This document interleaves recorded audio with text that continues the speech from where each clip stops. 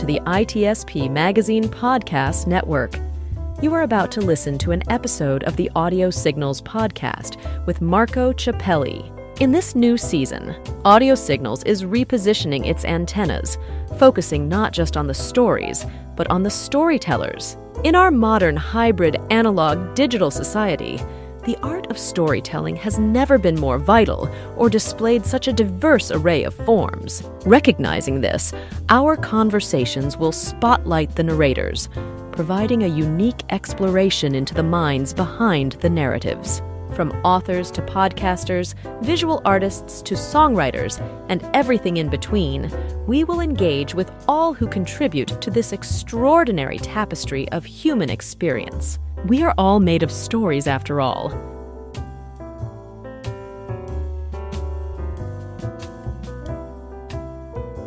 Hello, everybody. This is Marco Ciappelli. Welcome to another episode of Audio Signal Podcast. For those of you that have been listening to my latest episodes, you know I've repositioned the antennas to capture stories that are focused not just on the stories themselves, but also on the storytellers, which are the one that uh, create the story in their mind and the, the medium the medium that they use to share their story may be different. So it's not just a book it can be a movie it can be any piece of art. And if you know me you know i love music uh, any kind of music literally.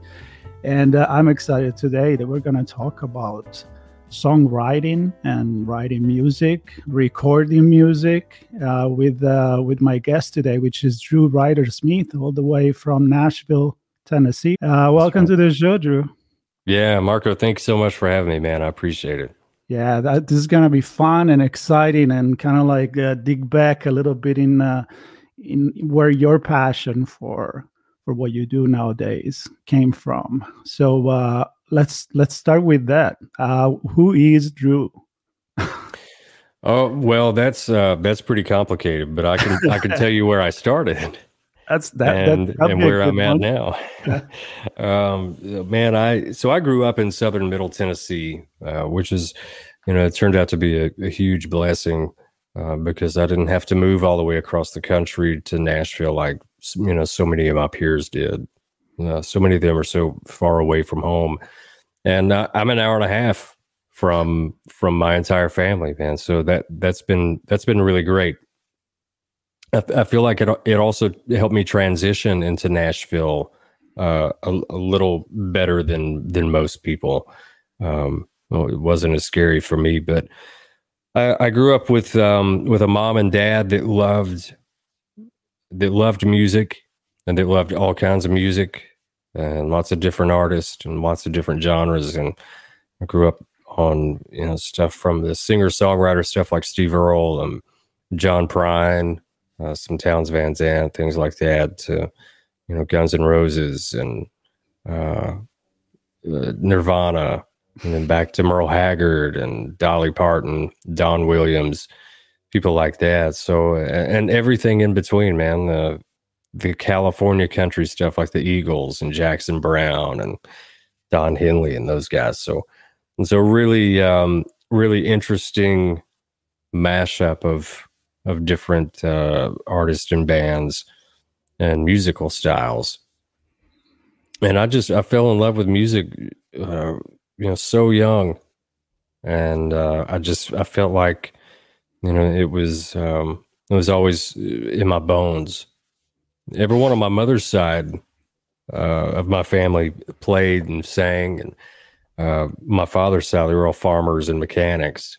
Um, so I I feel like I got about fifty percent of that in my blood. I don't know what the rest of it is, man, because I don't know anything about cars or farming. So. Well, you gotta you gotta pick something, and and and the good news is when you let I think your passion drive you it's hard to go wrong with that. Uh, you need a little bit of luck in life, of course. Yeah. Yeah. But uh, but I'm a big fan of listen to to your heart. So uh, did you pick up like an instrument right away, or because I love music, but I you know I wouldn't get on stage with my guitar or keyboard even if I play around a little bit. But I do love music. I love. Sure. Yeah. I mean, the, some of the bands. You know, I, I was born in 1969, so the 70s, 80s, uh, Guns N' Roses seen them, I think, six times. live. Wow. Yeah, so. Yeah. so you know that that's that's something that I share. The Eagles, uh, a lot of. I'm not like a big country guy coming from Italy. The country is not a big thing over there, Sure. but uh, but I appreciate every kind of music. So t- tell me about like, did you pick up an instrument and and you'd said, hmm, "This is it. I really love it." Yeah, yeah. When I was about ten, I, I got serious about uh, playing guitar. I had guitars growing up, um, but when I when I turned about ten, that was when I got really turned on to it and got really serious. And by about uh, twelve or so, that was when I started, you know, writing things down in notebooks, that sort of thing. It's when I got really interested in in writing songs and I've uh, I've not improved any at all since 12 years old. I don't feel like, but I just keep just keep showing up.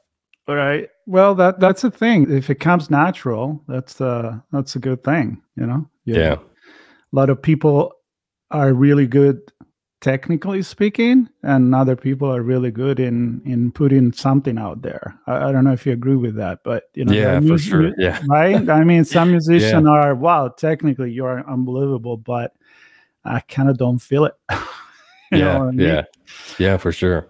Yeah. So, um, tell me about the the songwriting process because, uh, I mean, obviously, writing music it's it's also a way to tell a story. So we're gonna go there too. But let's start with the writing itself because a lot of people they got other other writers' thoughts and then they sing that, or somebody in the band is not necessarily not everybody participated to the composition of of the song, right? So you find yourself playing somebody else's music, singing somebody else's song. But when you write your own, it's a it's a different story. So how do you do that? What's the process there? Man, my process is I mean, for years I wrote by myself until I moved to Nashville. And and when you move to Nashville, you you kind of end up in a way, and not in a negative way at all, but in a way, you're kind of forced into co-writing with other people, which is a uh, it's a really great thing. I mean, I, I really love it. I love co-writing. I've always loved co-writing and have become, you know, I, I came to love it much more than just sitting down and writing by myself. So much so that there was a long period of time when I never wrote anything by myself. I saved everything for my co-writes. So, you know, the process is that you you show up with one or two other guys in a room, usually guys that uh, you know are also in publishing deals and um and you connect and you, you sit down and you throw around ideas for half an hour or so. And once you land on one that everyone unanimously uh, feels like is is a good choice for the day then you know you just dive into it. A lot of people ask about you know did the lyrics or the music come first and that's a common question that i get and Yeah, me, that's they- my question too. So go for it. yeah they you know usually it's it's just the idea first and then you know from there if you've got if your idea is a line i mean we'll just this is super simple but like mary had a little lamb if that's your hook if that's what you're going with that's your title you know that has a cadence to it. Mary had a little lamb. And so you know to say those words whether aloud or in your mind you kind of feel that cadence and that cadence a lot of times uh, will kind of lead you into a melody uh, and a and a rhythm. So for me it all just kind of shows up at the same time and i you know tweak things as i go. I tweak things musically just like i do you know lyrically Hmm. But but it does start with the with the song, with the words first. with the idea well with the idea the idea. Okay. yeah Yeah. Yeah, I never sat down and write out a verse or write out a chorus and then go, okay, how do I put music to this? Got it. Cool. To me, that always felt too much like poetry. Mm. That is poetry. Right? You know? It is. yeah, it's just poetry, and and I've never felt like I was much of a poet. Um, so yeah, for for me, I, they all it all kind of comes together all at once. It's uh, That's cool. it's a great experience, though. Absolutely. When you write something, and you, you usually are the hardest critique of yourself too. Always, right? Yeah. I mean, I'm really bad to myself, man.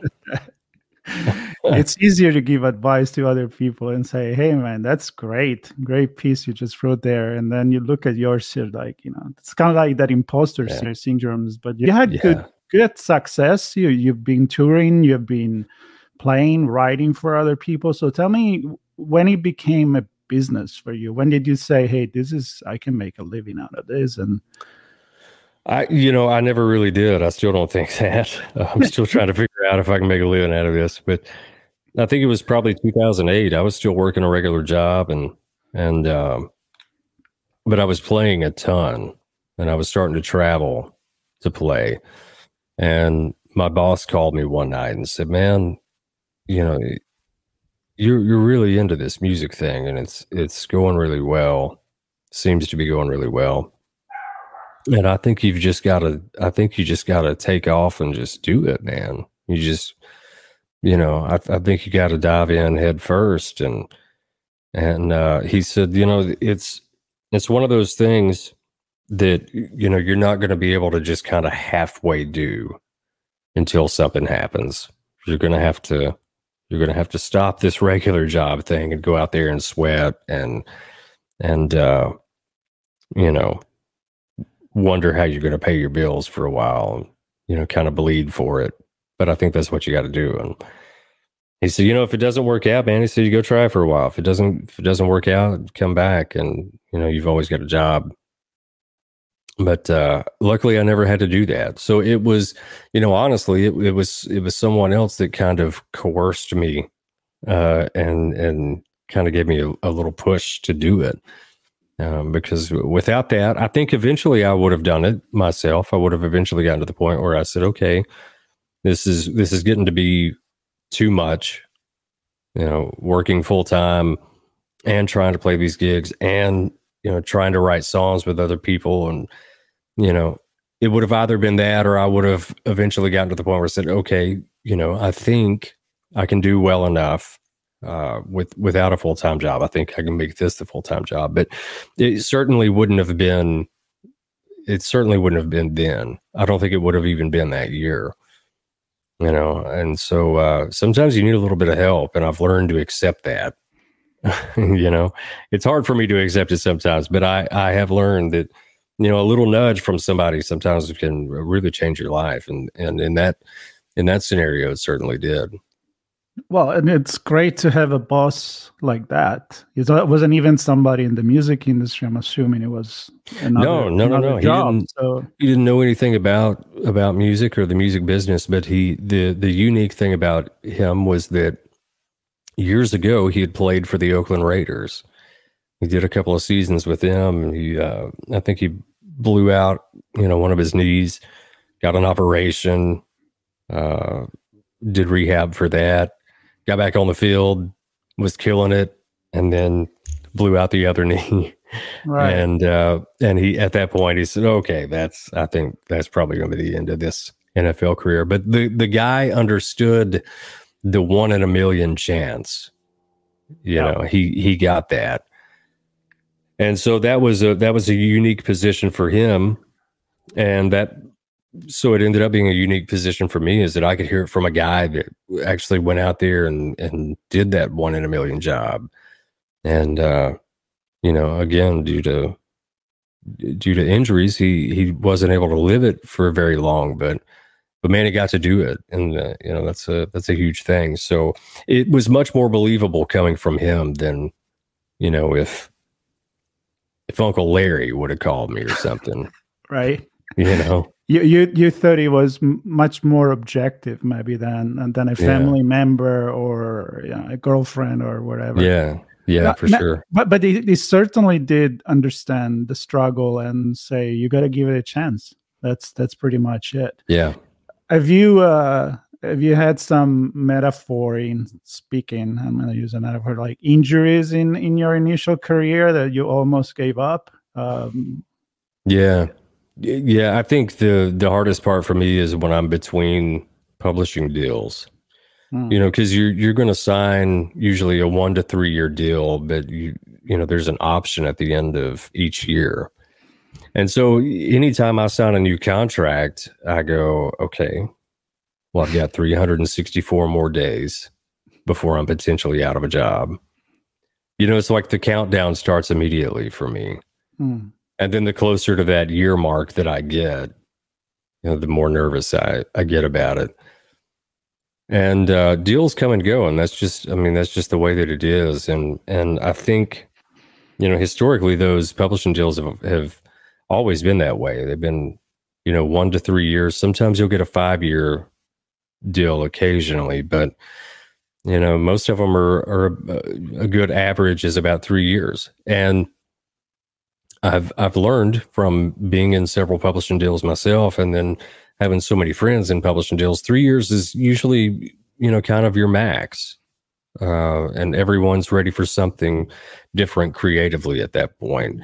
So I think it's good that it cycles every three years, but it it's still terrifying you know because you never know when that that next deal is is going to come or where it's going to come from so it's, it's certainly not always easy. Uh, right. those those would be my injuries i guess but those are the that's usually when i'm the closest to saying okay this might be this might be the last one. But is it also one of those situations where it allows you to reset yourself and look back maybe inside and say am i am I writing the right stuff? Am I playing the things that I really like? I mean, it, does it give you an opportunity to rethink where you're going with with your music? Uh, I I would say yes, but mainly because um, you end up in different circles. You, for me, I kind of force myself into other circles that I'm not typically in because I, am looking for a job. You know, Right. And so, uh, and it's not one of those things where you set your sights on, you know, one one company or one person. You go, okay, that's that's a thing, and I'm going to hang out until they sign me. You know, you've got to have as many irons in the fire as possible. And so you have to open yourself up to other circles, and you have to force yourself into other circles. And so that's kind of what it does for me. And as a result of being in different circles with different people and different styles and different backgrounds and all that, I, it changes my writing, mm. you know, to an extent. There's still a lot of me in there, but you know, you're always picking things up from from other people, and that's one of the fun things about songwriting is you're constantly learning and you're constantly, you know, taking pieces of other people, just like you're giving, you know, pieces of yourself so in that way, yeah, yeah, it, it certainly changes what I'm yeah. doing. Yeah, I, I like that what you said that you have to put yourself out there and change the environment to get inspiration and challenges, right? So I'm curious to know ways that you find your inspiration the most. It, do you write about things that happen to you? Do you write about things that happen to other? Maybe you watch a movie, you read a book. I mean, what, what is like your all secret? of those things? All of it. Yeah. Yeah, all of those things. Um, I I I tell this story occasionally. Um, I was at a Starbucks one morning. It's been years ago. I think I I yeah, I was I was pretty fresh into my first publishing deal. And uh, I would stop at this Starbucks in Green Hills here in Nashville every morning. And I'd sit outside and, and smoke and drink my coffee before I went in. And so there's a I go outside one day and and sit down at one of the little tables and like the table next to me there was a couple there that were breaking up. And so I was like well I mean they're not being quiet about it. I didn't know they were I didn't know they were going to break up. So it's you know I'm not eavesdropping. So I but I sit there and listen to the these people break up. And I think I probably you know I'm sure three or four different songs came out of that probably over the next, you know, couple weeks or so, just from being in that energy and in that space. Right. So yeah, I'll pick it up anywhere I can get it, man. Newspaper, eavesdropping, whatever. I I guess you didn't credit them on the songwriting. That. I did not. No, they never they never know they are in three songs. They'll That's never. right. That's exactly right. I love I love that. I love that. Uh, listen, I, I know that you do other things. I have a few notes that that I have from from you and from um, looking at your website and your biography. You songwriting, musician, uh, but also engineer and producer. Now, I I'm in LA. I've been here for 20 plus years, so I've met a few musicians here. Some made it, some didn't, but they're still amazing. They play in the local, you know, pub down at the beach in the South Bay. Yeah and uh, and you wonder why they never did it. So there there are certain things that I feel like things have changed. That's where I'm going right now. You kind of need to be a little bit of a chameleon, but you also need to put yourself out there. And how did doing other thing like you know being a producer? I think you have a, a a recording studio as well. You, have worked yeah. There, well, I, you, I think you just nailed it when you said chameleon. I, I think that Man, the ultimate guide to success is to be able to be a chameleon. You know, remain yourself, but be able to chameleon in, in, into other into other situations. I I came about the recording and the producing and all that completely by accident. The the quick version of that is that um, I I bought Pro Tools and and had a, a friend of mine, IT guy, that built me a system specifically for it. This is years ago. I was in my first writing deal and I got a mic and an interface and you know all the things. And I I I got that simply because I wanted to make better work tapes instead of just you know because at the time I mean we're talking like just 2010. So at the time the the best that was out there was you know outside of professional equipment the best that we had available was um, you know little digital recorders because you nobody was really recording anything on their phone yet. It just didn't sound right. didn't sound like it does now. So I wanted to make, uh, but the digital recorders are a real pain because you had to carry around a USB cord and the batteries would die all the time, and because you'd forget to turn it off and just all this stuff, you know, and you'd have to file through, you know, all these different song files on there and so uh, I thought, well, I'll, get Pro Tools, and that's I'll make better work tapes that way and be more organized. And so it, I, I just fell in love with the process of recording, and it was really the curiosity of like, how do you make this sound better? Do I, you know, can I move over here, or oh, I can put the mic here and it sounds better, you know, things like that. Um, so yeah, man, that's kind of that's that's how I got started in that, and it just grew from there. It got it went way out of control, way off the rails, Marco.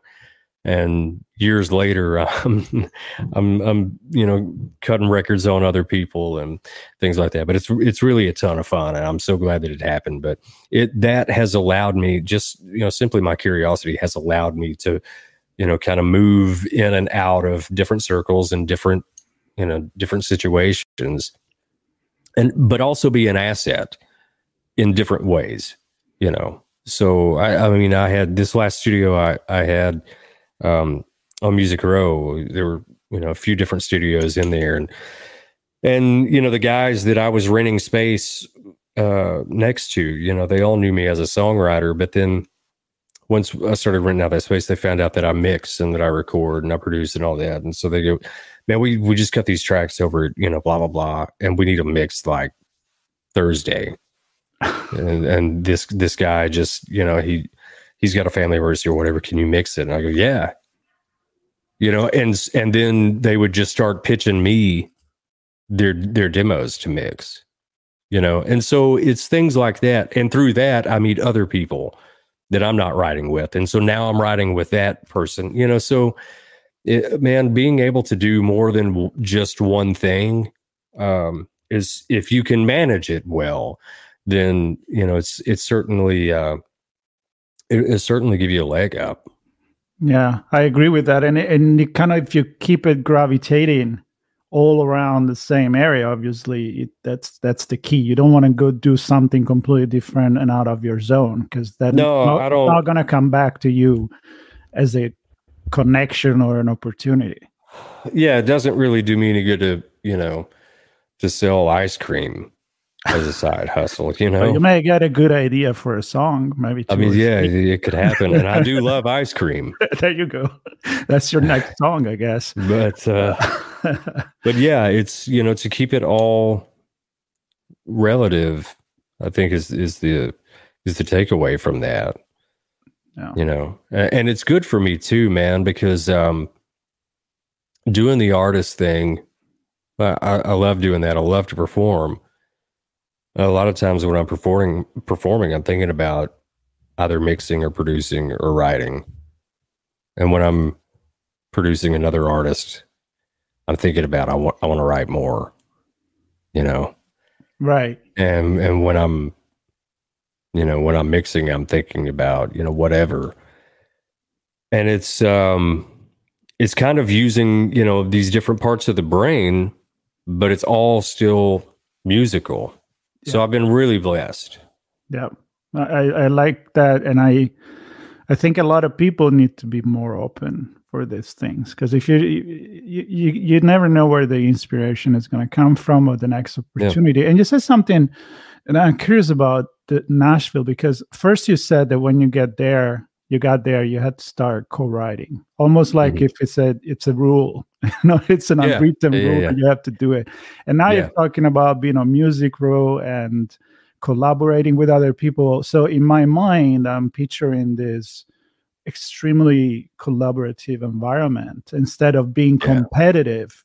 It's it's collaborative, which may make a huge difference for an artist. Yeah, for sure.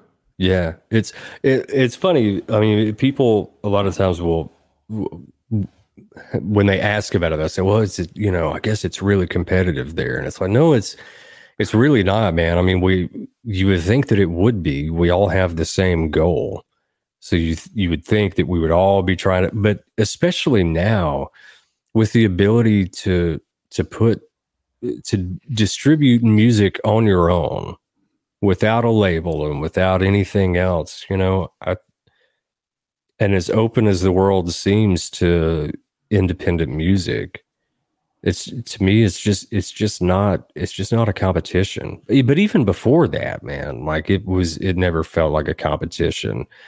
As competitive as it got was you wanted to write a better song than the guys in the room next to you.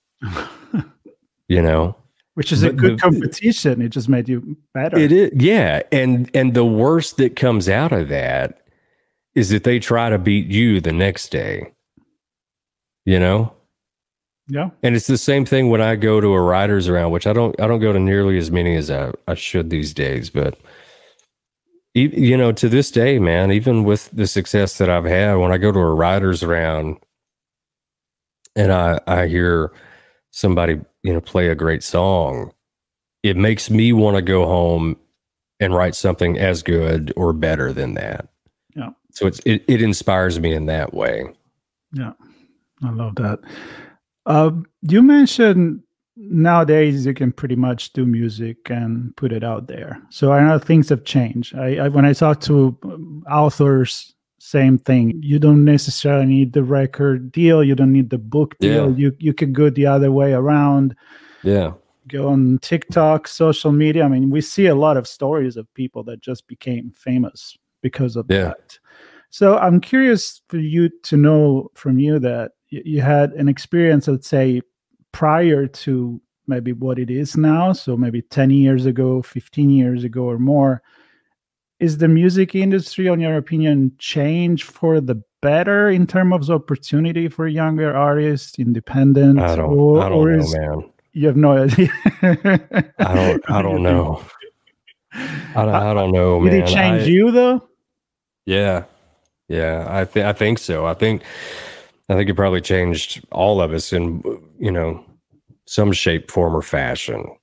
Um, because it it it was like all right for songwriters and I've seen guys have this conversation I've I've, I've not really been in this situation but I have seen other guys in this situation where they go okay well I'm supposed to write with with this guy on Tuesday and he just signed a deal with Sony. So he's he's like the new kid on the block but he's on Sony. It's a huge label right So there's a lot of promise there. So I need to be right. But then this guy over here that's getting a million streams a month, he also wants to write on Tuesday. Mm. And I don't know what the Sony kid's going to do, but I know what this this other this independent guy that's getting a million streams a month. I know what he's doing. Yep. So you know, it changes it changes things like that, man. Um and it certainly changed the reaction of the labels and the reaction of artists as well now because I mean there's guys out there turning down deals because they're getting, you know, a million plus streams a month on Spotify. And so they they get, you know, a, a label, Sony or whoever calls them and says, "Man, you're killing it. We want to give you a record deal." And I go, "Why? Why do I want to give you my masters, man? I own everything. I don't know how long this is going to last, but I, I know what I'm doing right now, and and it's it's going well. And so uh, that's you know, I, I think the, if that were to happen to me, I think the even as long as I've been in the music industry, I think my my biggest thing would be well, okay, okay, if I'm getting this amount of streams per month, and they're offering me this deal, yeah, I'm getting a million per month, but how how do I continue that, and how do I manage it, and how do I get everything that I can get out of this? So tour dates and merch and you know music videos and you know further distribution and better promotion uh, radio promotion uh, all these things like it's at some point it you get to the point where you kind of build you'd have to build a label around you because you need somebody that's doing merch. If you're doing that well you, you're going to need somebody doing your merch. You're probably going to need a tour manager. You're going to need an agent. You're going to need somebody to do promotions. You're going to need somebody that's going to help with you know social media you know all these different things so i don't know man. Maybe you do sign with a label hmm. and you hope that you've got enough leverage to say you're not taking all of my masters. I'll give you x amount. I'll give you this percentage. You know and you can do distribution and promotion but i'm going to keep these other things and i'm going to keep i'm going to keep this share of the masters. So it's just a, it's it's kind of a difficult it, it's it's a difficult place to be kind of for everybody. Um but at the end of the day it is still a business and I, you know if somebody throws enough money at you you're eventually going to cave i guess you know. But i think you made it really excellent i mean you made an excellent point when you put it from the perspective of you do a one hit wonder you, you you have five million whatever million view. First of all you got to see like can i monetize that? And yeah. wh- where are where are the money you know is it like in the click that i get from youtube because a lot of people look at the ads and then yeah. when this is over what am i gonna do or right. you're gonna really do it seriously and then that money is gonna have to come out from your pocket no matter what so you either get you give away a percentage or you're going to have to create your entire structure for yourself which yeah. when you look at that way you may want to focus on writing your stuff right and get yeah. a deal probably i don't know i'd be happy to know other people what think about this and put some comments. you know, yeah, yeah, yeah, yeah. Out there. But yeah, you made a really good point. Listen, I I could keep talking forever because I, I love the topic and and I'd like to hear your story. But I want to give you an opportunity before you we end this conversation, and you're more than welcome to come back anytime and we keep keep going with. I, I love to have recurring guests because I feel like I already know them a little bit. So yeah, the yeah. conversation become even easier. But what what are you up now in this day? Um, what's your latest thing? What are you doing? Are you touring? Are you? Yeah, so I've, I have been traveling. I have been playing. I was just uh, recently did a few shows in Virginia and in North Carolina. And um, uh, gosh, Marco, what am I doing next? CMA Awards. Yeah, the CMA Awards are, are next week in Nashville, so I'm looking forward to that. Cool. Um, they uh, we're taking my mom this year. She's never been to the CMA Awards. so we're going to take her. And she actually just texted me at the the beginning of uh, our conversation, and, and she's excited because Post Malone's going to be there. She loves Post Ah, Malone. Great. And uh, I do too. So He's it's going to be fun, man. It's going to be a good time. Uh, new album came out in the summer. It's a it's an EP. Uh, there's six or seven songs on there. I don't remember how many, but um, I, I'd love for everyone to check it out. I'm really proud of this work, and you know, I I wrote songs for so many years for other people, and I got really comfortable with that. And, and finally, you know, last year I just decided, man, it's been too long. I've you know everybody else is singing my stuff. I, I've still got things I want to say myself, and so I started putting out some music, and and there's going to be more music coming out uh, really soon. But uh, for all things Drew Ryder Smith, you can just go to drewrydersmith.com, and all the social links are there, and YouTube links, things like that. Yeah, and, we'll put it on the notes for this podcast or under YouTube, the video. Right. I, I will put all the links to your stuff because I want people to get in touch with you. And Sure. if they don't know you yet, they can learn more about you and discover your music. So I Yeah, I man. enjoyed this uh, this journey into your career and uh, Yeah. Your honesty. I mean, really, you know, it was definitely not a script conversation. we didn't even have like bullet point, which is the way I like it. And Sure. uh, and I'm glad uh, I'm glad you stopped by and, and share your story. So Uh, Marco, thank you so much, man. I'm, I'm really grateful to you for having me. Cool. All right. Everybody here, I hope you enjoyed the conversation. Subscribe to my podcast, uh, get connected and in touch with Drew here, and uh, stay tuned. There'll be more stories coming on on a Audio Signal podcast about stories, storytelling, and storytellers. Take care, everybody. Thank you, Drew. Thank you.